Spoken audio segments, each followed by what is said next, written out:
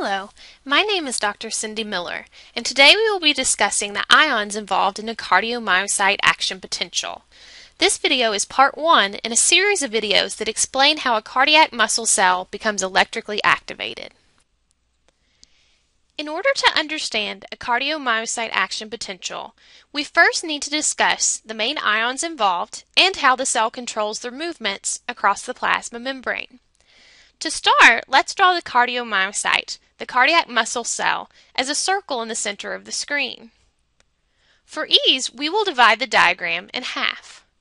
On the left side of the diagram, we will show the protein channels and carriers that are always active.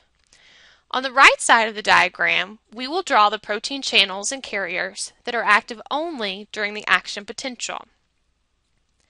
Let's first focus on one of the main protein pumps that are always active in a cardiac muscle cell, the sodium-potassium pump.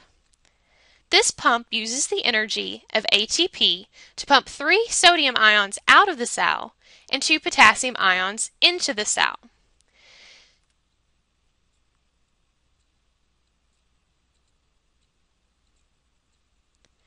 This process is an example of primary active transport, as it directly uses energy from the breakdown of ATP, adenosine triphosphate, into ADP, adenosine diphosphate. The sodium-potassium pump actively transports sodium and potassium against their concentration gradient, creating a high concentration of sodium ions outside the cell and a high concentration of potassium inside the cell.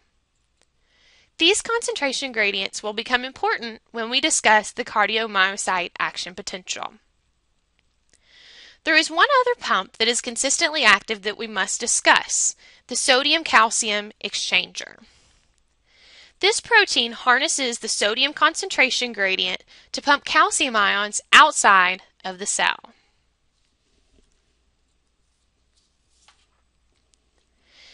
This process is an example of secondary active transport, as it utilizes the potential energy of the sodium gradient to transport calcium ions against their concentration gradient.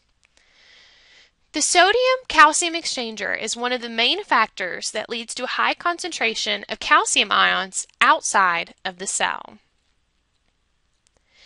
Now that we have examined the protein channels and carriers that are always active, we can focus our attention on the protein channels and carriers that are active only during the cardiomyocyte action potential. These are voltage-gated channels that will open and close in response to changes in the membrane potential, the charge difference across the plasma membrane. Each of the voltage-gated channels is specific for a particular ion, and will open and close at different phases of the action potential. There are voltage-gated sodium channels, voltage-gated potassium channels, and voltage-gated calcium channels. These channels are examples of facilitated diffusion, so the ions will always move from an area of high concentration to an area of low concentration. Consequently, when the voltage-gated sodium channels open, sodium will diffuse into the cell. When voltage-gated potassium channels open, potassium will move out of the cell down its concentration gradient. When voltage-gated calcium channels open, calcium will move into the cell. In order to have room to examine the action potential, let's focus just on the protein channels that are activated during the action potential.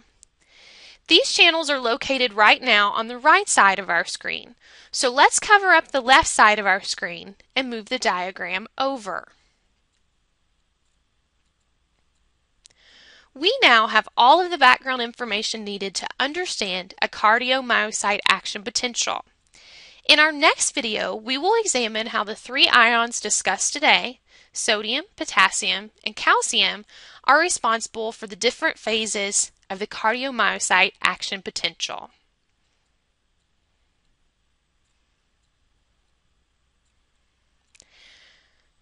Please be sure to view video 2, the cardiomyocyte action potential, for a full review of this mechanism.